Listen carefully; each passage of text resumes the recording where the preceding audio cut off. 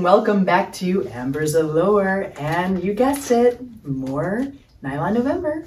I am currently wearing Baby Pink by Miss and right here I have for the first time Miss Naughty in Hot Pink which I will also be wearing in a little bit. So everything here is Fashion Nova including these bubblegum pink high heels,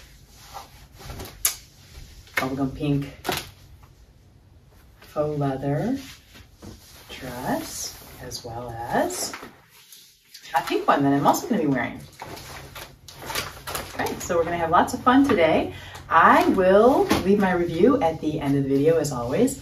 And be sure to let me know what you think. Thanks for watching. Bye.